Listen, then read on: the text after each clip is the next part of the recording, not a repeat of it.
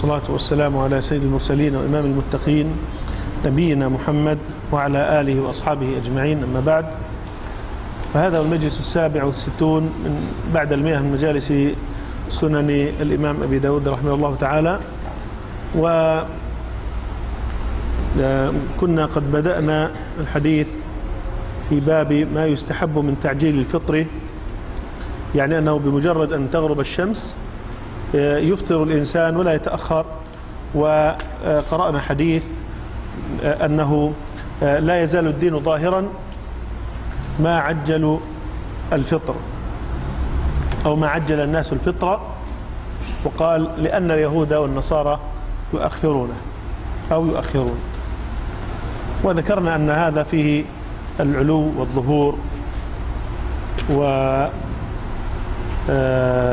للدين بسبب تطبيق السنة وهذا هو الأصل. ومن أسباب بقاء الدين ظاهرا العمل بالسنة ومن أسباب بقاء الدنيا وجود أهل السنة.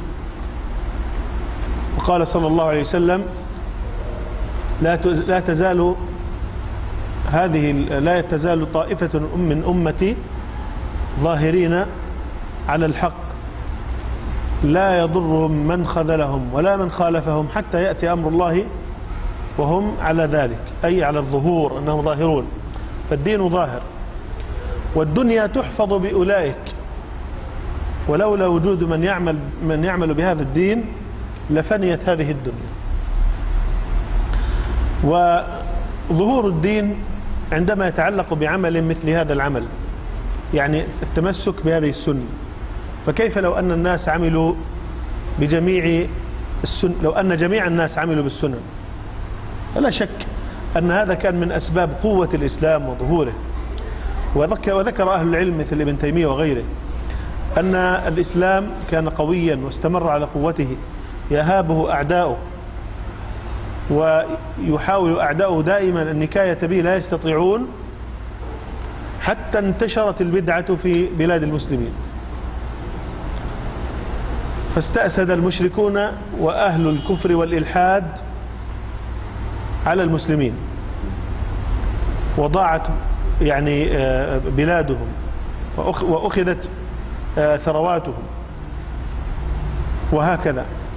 ثم عادت إليهم بلادهم لما عادت إليهم السنة. وعادت إليهم هيبتهم.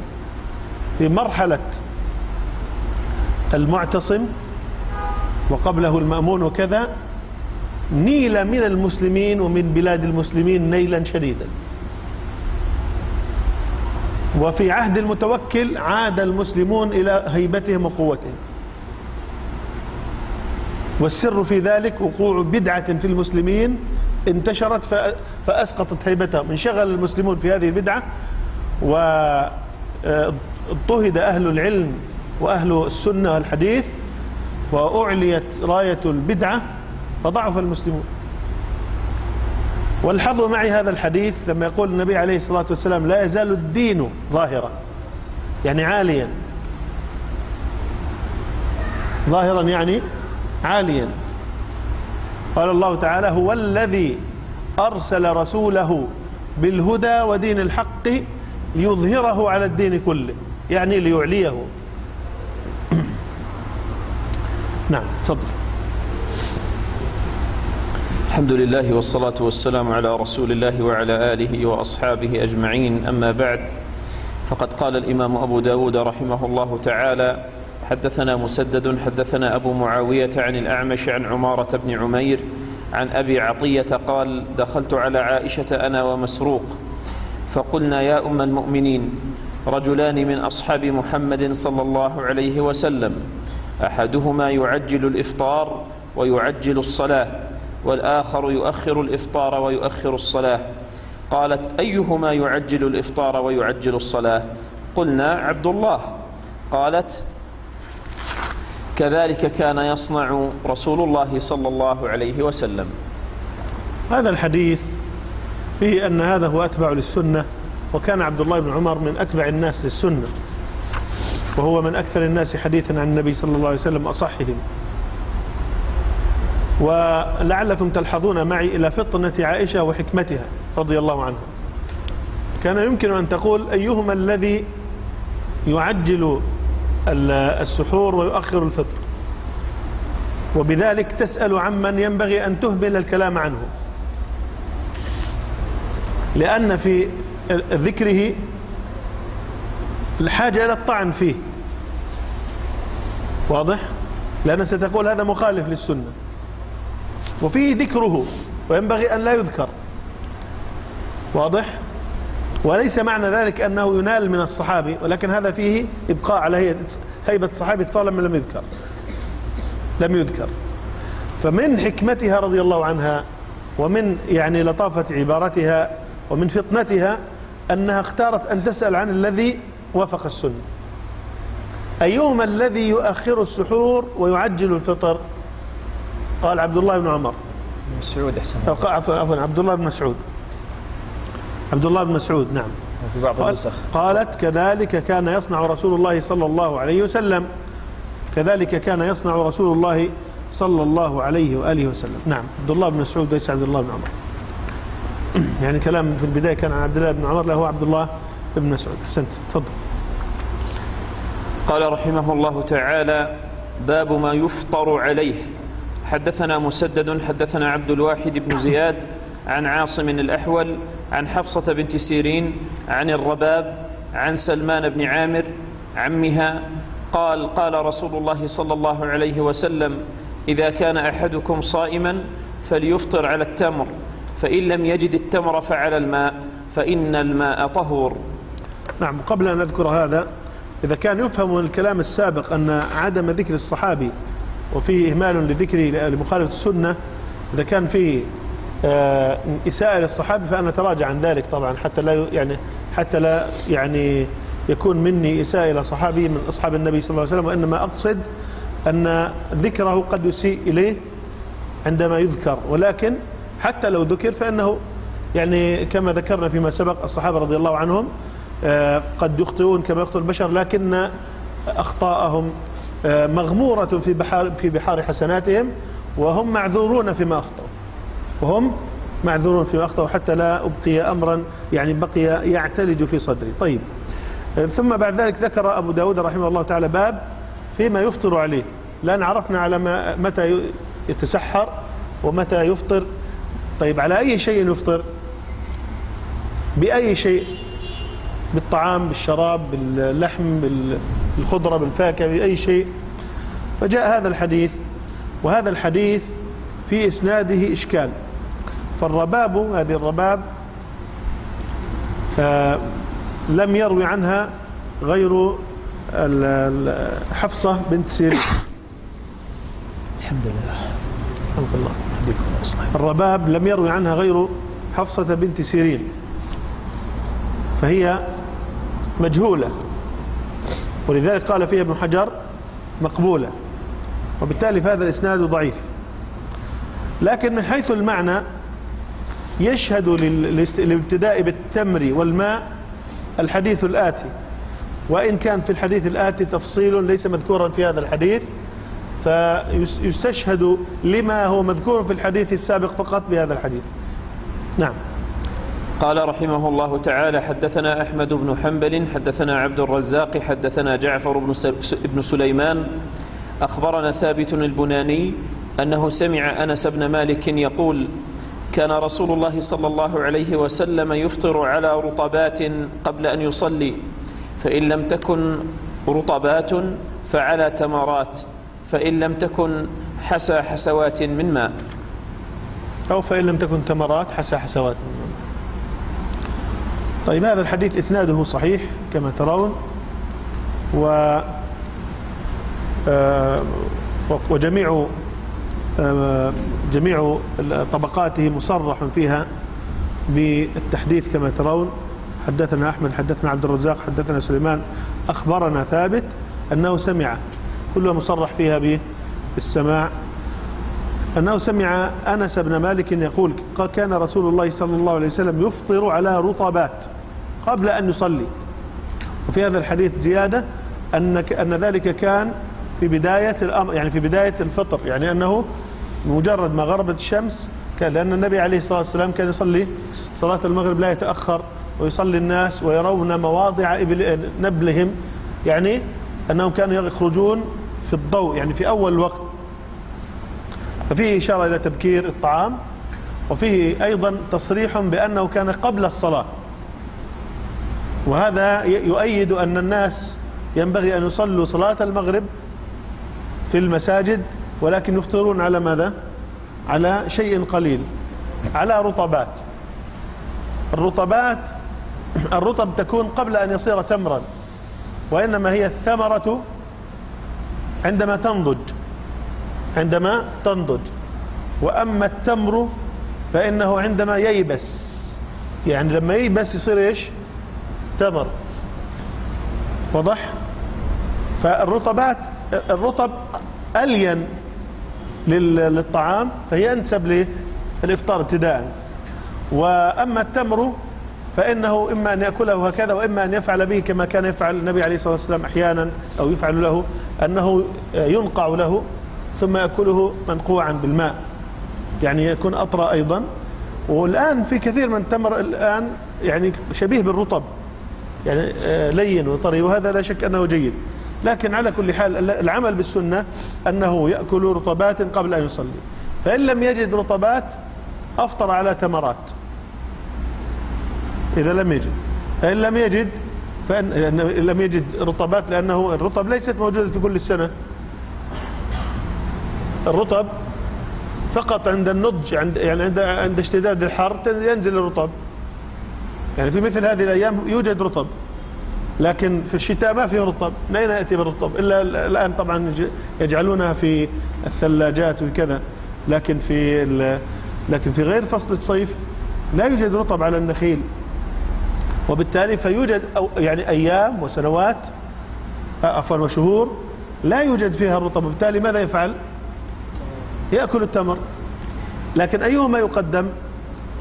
الرطب وهي أفضل وأنفع. طيب. فإن لم يجد آه، تمرات فإن لم تكن تمرات حسى حسوات من ماء.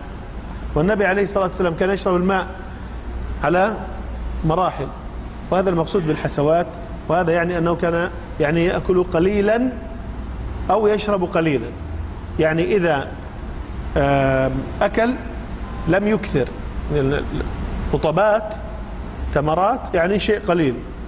فإن لم يجد حسى حسوات من ماء يعني أيضا إيش؟ شرب شيئا قليلا. نعم. طبعا هذا الباب وهناك آه، يبدو نسخة ثانية أنه باب ما يقول إذا أفطر. شيء ولا؟ نعم باب ما يقول إذا أفطر. طيب. نسختان. على كل حال. تفضل. باب ما يفطر ما يفطر. الذي بعده الآن هو باب ما يقول. نعم. أو باب القول. باب القول عند الإفطار. حدثنا عبد الله بن محمد بن يحيى حدثنا علي بن الحسن أخبرنا الحسين بن واقد حدثنا مروان يعني ابن سالم المقفع قال رأيت ابن عمر يقبض على لحيته فيقطع ما زاد على الكف. وقال كان النبي صلى الله عليه وسلم إذا أفطر قال ذهب الظمأ وابتلت العروق وثبت الأجر إن شاء الله. نعم هذا الحديث في إسناده مروان بن سالم المقفع على الصحيح والمفقع على الخطأ. يعني بعضهم يذكر يرويه على المف- المفقع وهو خطأ ولكنه صدوق. يعني حسن الحديث لأنه أورده ابن حبان في الثقات وروى عنه ثقتان فحديثه حسن.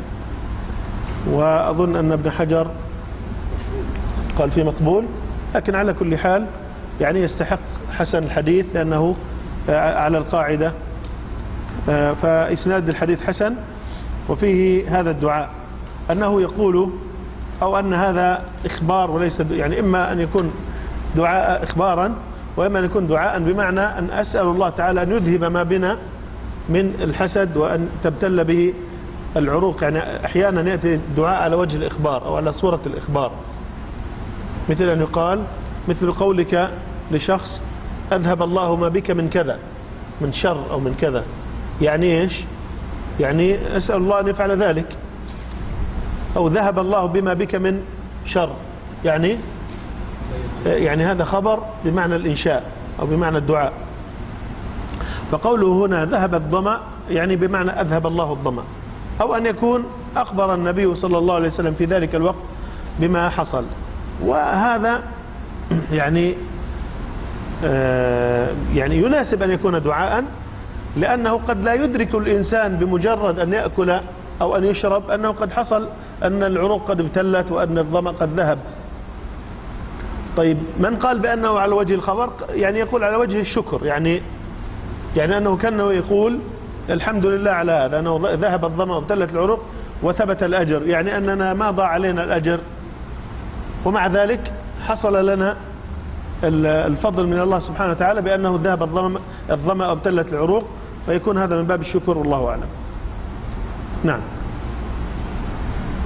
قال رحمه الله تعالى حدثنا مسدد حدثنا هشيم عن حسين عن معاذ بن زهرة أنه بلغه أن النبي صلى الله عليه وسلم كان إذا أفطر قال اللهم لك صمت وعلى رزقك أفطرت. طيب هذا الحديث فيه علتان. ما هما؟ واحد. بلاغ. هو بلاغ أصلا. يعني إحنا قلنا أكثر من من علة. منها؟ من ذلك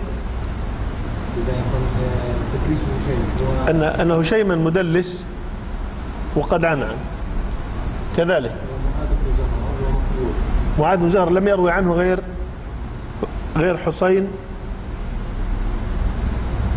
لم يروي عن غير حسين فهو مجهول. فالإسناد ضعيف رغم إرساله فهو مرسل ضعيف. واضح؟ وهو مصرع بأنه, بأنه بلاغ لأن, لأن هذا الذي الذي يعني أرسل هو نفسه هو نفسه مجهول. يعني لو أن الحديث أرسله من واحد من كبار التابعين ومن أئمة التابعين اختلف العلماء في في أمره وكان الصحيح أنه لا يصح حتى نعلم أنه أنه سمعه من صحابي. حتى نعلم أن الحديث مروي عن صحابي. واضح؟ فكيف عندما يروي الحديث بلاغا رجل يعني من مجهول التابعين؟ فطبعا الحديث ضعيف وبالتالي فلا يؤخذ به. فلا يصح أن يدعو المسلم بهذا الدعاء. يعني هذا الدعاء يعد بدعة. الذي يقول اللهم لك صمت وعلى رزقك أفطرت. وفي رواية اللهم لك صمنا وعلى رزقك أفطرنا لا يصح. يعني كثير من الناس يدعو هذا لا ما تدعو هذا الدعاء. نعم. قال رحمه الله تعالى باب الفطر قبل قبل غروب الشمس. طيب ممكن واحد يقول الحديث لما يكون فيه وهن شديد بينته. طيب هنا ما بين سكت عليه أبو داود. حديث وهنه شديد. كيف سكت عليه أبو داود هنا؟ لظهور ضعفه. ها؟ لظهور ضعفه. واضح. الحديث واضح. أن قال هنا أنه بلغه أن النبي عليه الصلاة والسلام هذا يحتاج إلى يحتاج إلى تنبيه؟ هذا واضح.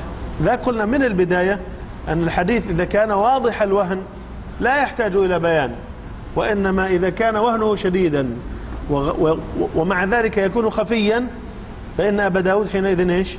ينبه عليه. نعم. قال رحمه الله تعالى باب الفطر قبل غروب الشمس. حدثنا هارون بن عبد الله ومحمد بن العلاء المعنى. قال حدثنا أبو أسامة حدثنا هشام بن عروة عن فاطمة بنت المنذر عن أسماء بنت أبي بكر قالت أفطرنا يوما في رمضان في غيم في عهد رسول الله صلى الله عليه وسلم ثم طلعت الشمس. قال أبو أسامة قلت لهشام أمروا بالقضاء؟ قال وبد من ذلك. وبد من ذلك. وبد من ذلك. نعم يعني هل يحتاجون إلى أمر بالقضاء؟ وهذا يعني أنه يميل إلى ماذا؟ إلى وجوب القضاء على ذلك. ولكن السنة ثبتت بخلاف هذا الذي يعني يقول به آه، هشام. وهو أن السنة أنه إذا خفي على الناس الأمر وغلب على ظنهم جانب معين فأخطأوا فإنهم لا يطالبون بالقضاء. وضح يعني مثلا إذا إذا جاء وقت الغروب وكان السحاب شديدا وكان السحاب شديدا فماذا نفعل؟ لا يمكن استيقان وقت الغروب بالضبط. والسنة أن نبكر في الفطر فإننا نعمل بغلبة الظن. نعمل بغلبة الظن. عملنا بغلبة الظن. انكشف السحاب كانت غاربة الحمد لله. لكن إذا عملنا بغلبة الظن وبعد ما انكشف السحاب بقيت الشمس قليلا ما غربت. ماذا نفعل؟ نمسك. وليس علينا شيء في ذلك. وضح لأننا ما تجانفنا لإثم وإنما عملنا بما أمرنا وهو أن نعمل بغلبة الظن. ليس في الحديث أنهم أمروا بذلك. عن أسماء بنت أبي بكر قالت أفطرنا يوما في رمضان في غيم في عهد رسول الله صلى الله عليه وسلم ثم طلعت الشمس. لماذا أخبرت بذلك؟ هشام رحمه الله تعالى يرى أنه لا نحتاج إلى بيان القضاء. ولكن الواقع والذي تدل عليه النصوص الأخرى وحتى لفظ هذا الحديث مع يعني أدبنا الجم مع هشام رحمه الله تعالى فإننا نقول لا ليس الأمر كذلك. بل إن الظاهر أنه لم يؤمر بالصيام. لماذا؟ لأنه لو كانوا أمروا بالصيام لاجتدت الحاجة إلى بيان ذلك. يعني الحاجة إلى أن يقضوا أشد من الحاجة إلى أن لا يقضوا. فطالما أنهم لم لم يعني لم يقضوا ولم يؤمروا بذلك فلماذا تذكر؟ الحاجة لا تشتد. بينما لو أنهم أمروا بالقضاء لماذا تذكر القصة ولا تذكر أمر النبي عليه الصلاة والسلام؟ يعني ما الذي حملها على أن تدع ذلك؟ عن أسماء بنت أبي بكر قالت أفطرنا يوما في رمضان في غيم في عهد رسول الله صلى الله عليه وسلم. يعني أنه إيش؟ أنه مما إذا أقره الوحي كان هو الشرع. ليش تذكر عهد النبي عليه الصلاة والسلام؟ ومعنى ذلك أنه بلغ النبي عليه الصلاة والسلام. قالت ثم طلعت الشمس. انتهى الحديث. إذا فيه إشارة إلى إلى أنهم لم يؤمروا. والله أعلم. نعم. قال رحمه الله تعالى باب في الوصال. حدثنا عبد الله بن مسلمة القعنبي عن مالك عن نافع عن ابن عمر أن رسول الله صلى الله عليه وسلم نهى عن الوصال. قالوا فإنك تواصل يا رسول الله. قال إني لست كهيئتكم. إني أطعم وأسقى. نعم هذا الحديث بإسناد ما هي حاله؟ ذهبي. هو فقط ذهبي؟ صح صح الأسانيد على الإطلاق عند البخاري وأصح الأسانيد عن ابن عمر عند غير البخاري. نعم.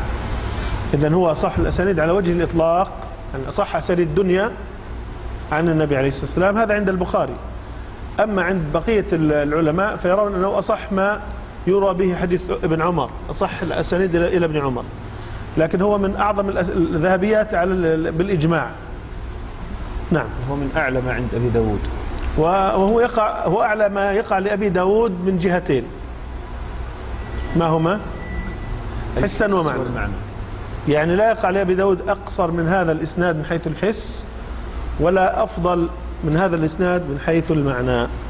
نقرأ الحديث الأخير.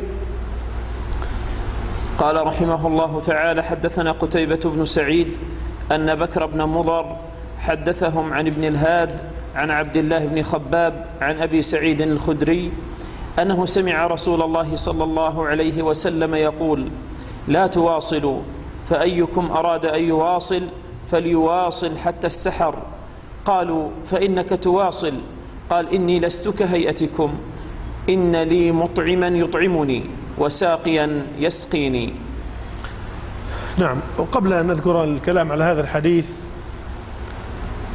بعض من كان ينتقد شيخنا الألباني رحمة الله عليه كان ينتقد أنه يقول في الحديث حديث صحيح رواه البخاري ومسلم أو حديث صحيح رواه البخاري. جميل؟ مع أن هذا يعني ما ما فيه إشكال. الحديث قد يكون رواه البخاري ولكنه يكون شاذا من حيث من ناحية المتنية مثل حديث ابن عباس رواه البخاري هو أن النبي صلى الله عليه وسلم تزوج ميمونة وهو محرم. وفي مسلم أحاديث أضعفها البخاري نفسه مثل حديث خلق الله تربة ضعفه البخاري وضعفه أحمد ويحيى بن معين والأئمة أعظم من الإمام مسلم ضعفوها. فكيف ينتقد على الشيخ هذا؟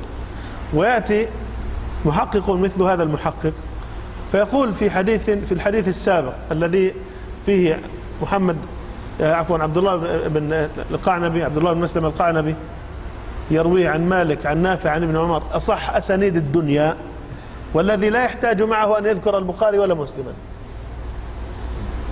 يعني لو جاز أن يذكر البخاري ومسلم ليس في هذا الموضع.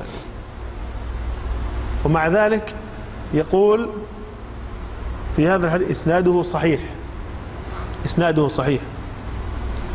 مالك هو ابن أنس ونافع وابن عمر.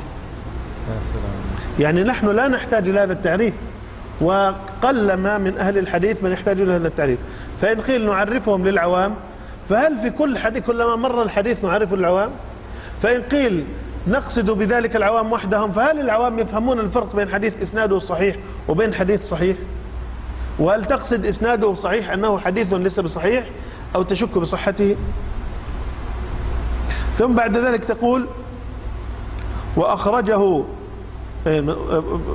وعند مالك من طريقه أخرجه البخاري ومسلم وأخرج البخاري ومسلم والنسائي من طريق من طرق عن نافع. جميل. لكن المقصود من كلام أنه إن كان هنالك من ينتقد فليس الشيخ ناصر رحمة الله عليه. لأن الشيخ ناصر رحمة الله عليه يعني مذهبه يعني يجرد كل ذلك ولا يأبه بكلام الناس. لكن يعني هناك تفصيل أكثر وهناك تف... لماذا لم, نس... لم نسمع له انتقادا؟ لماذا لما كان الشيخ الألباني رحمة الله عليه يعرف منه الإمامة في الحديث؟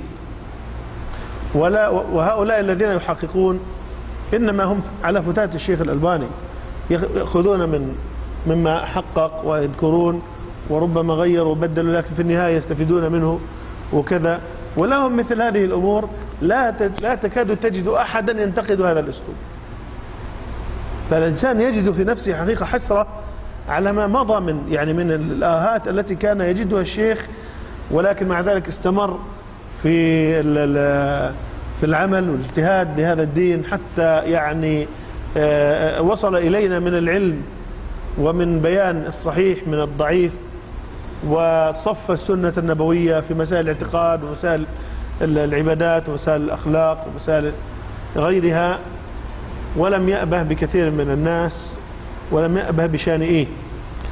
وربما يعني مما يصدق عليه حديث النبي عليه الصلاة والسلام لا تزال طائفة من أمتي ظاهرين على الحق لا يضرهم من خالفهم ولا من خذلهم. لا من خالفه فأظهر المخالفة ولا من خذله فلم يظهر نصرته. مع أنه عالم بأنه كان على صواب في ذلك. حتى يأتي أمر الله وهم كذلك. وهو ومن تبعه والعلماء ورثة الأنبياء. وهذه التركة لن تنتهي إن شاء الله حتى تقوم الساعة.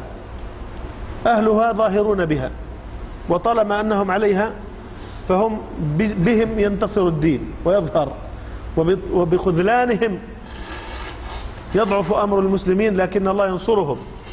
ولا بد من يعني الظهور بإذن الله عز وجل. طيب. وأما هذا الحديث الثاني أيضا وال- والصحيح كالحديث السابق أيضا بأنه صحيح أن أبا سعيد سمع النبي صلى الله عليه وسلم ينهى عن الوصال. إذا حديثان الحديث الأول آه، نهى عن الوصال والثاني كذلك. قال في الأول إني لست كهيئتكم لما قالوا إنك تواصل لأنهم علموا أن النبي عليه الصلاة والسلام هو القدوة والأصل أن نعمل بعمله حتى لو لم يأمرنا بذلك. فقال معللا نهيه مع فعله إني لست كهيئتكم إني أطعم وأسقى. والثاني إني لست كهيئتكم إن لي مطعم مطعما يطعمني وساقيا يسقيني. وهذا الطعام والشراب بدليل الخطاب ليس المقصود منه ما يفطر به وينقطع به الصيام. لماذا؟ لأنه معه أنه مواصل. ولو كان المقصود أنه يفطر ويأكل ويشرب لقا- لقال إني لا أواصل. ولكن على الصورة التي هو عليها لا يأكل ولا يشرب الطعام الذي يفطر به وإنما له ما يطعمه ويسقيه وهذا أمر في غيب لا نعلمه. يعني ليس هو الأمر الحسي طعام والشراب الذي يفطر به وإنما كان يواصل فلا يصو فلا يفطر. وحاول الصحابة أن يفطروا معه أن أن- يواصلوا معه ولكنه استمر وحتى إن الصحابة رضي الله عنهم تمنوا انتهاء رمضان حتى لا يعني يستمر بهم الأمر مما شق عليهم الشاهد من الكلام فلو كان النبي عليه الصلاة والسلام يأكل ويشرب لكان هو غير مواصل وهم مواصلين واضح؟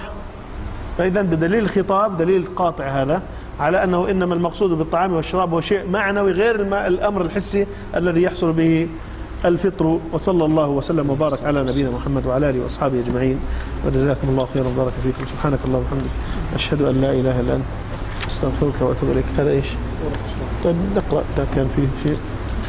إن كان يصلح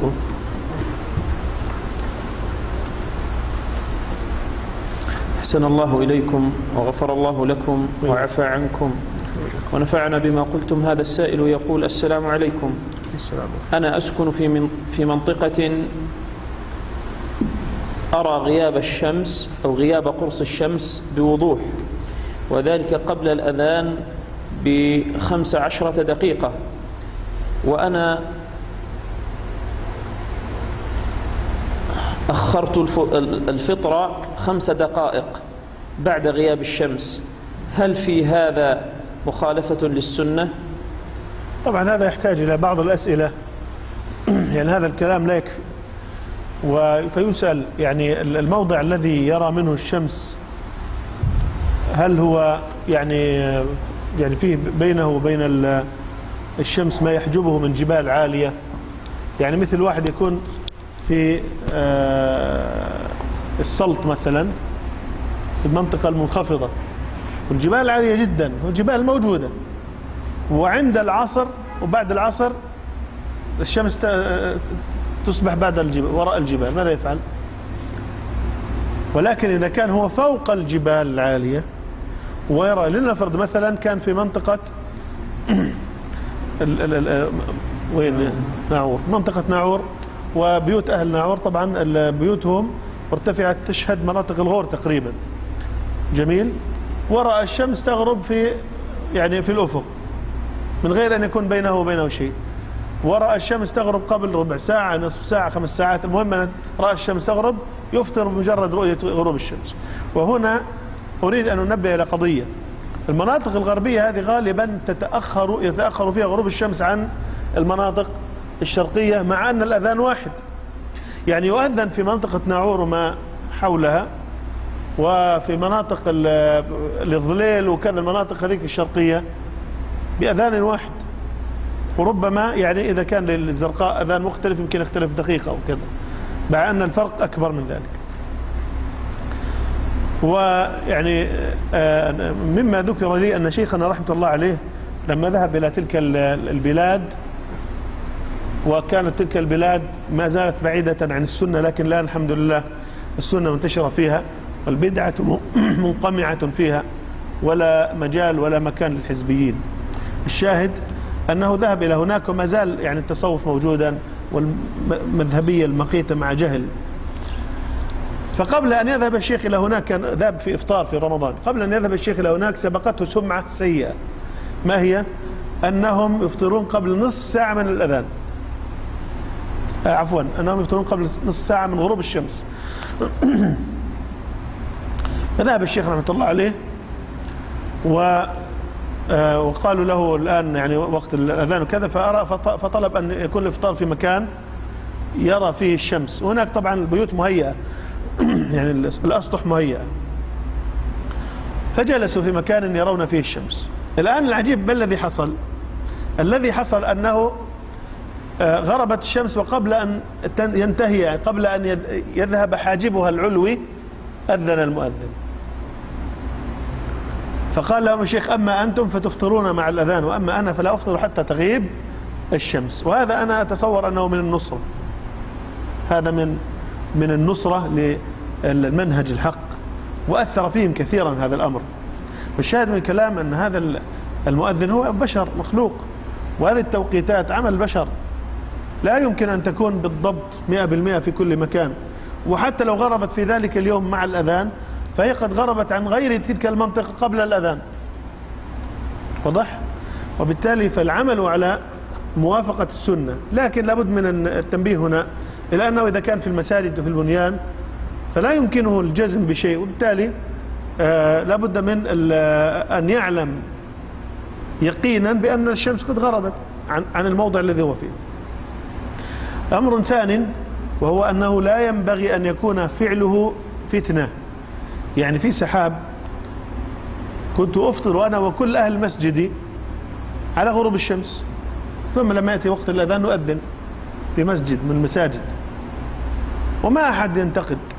وكان يأتي واحد حزبي آه، فيقول يا أخي أنتم تفطرون وكذا. نقول له خليك إحنا كلنا نفطر وأنت خليك انظر إلينا. نحن نوافق السنة وأنت ما ندري ماذا معك. على أي شيء يعني تمتنع من الطعام. واذهب وقل للناس يفطرون قبل نصف ساعة لا نعرف هذا الكلام. مع أنه كنا نفطر ربما قبل أربع دقائق أو خمس دقائق يعني في ذلك الوقت. لكن ال ال الشمس الأفق واضح ونعرف أن الشمس تكون قد غربت فكنا جميعا جميع أهل المسجد نفطر. فإذا كان جميع أهل المسجد يطبقون السنة ما في مشكلة. أما إذا كان يترتب على ذلك فتنة ويعني يصد بذلك عن سبيل الله وعن السنة وعن العلم الشرعي وعن موافقة السنة فحينئذ لا. لا بد من أن تبتعد عن مواضع الفتن وأن يعني آه، أن تفطر مع الأذان.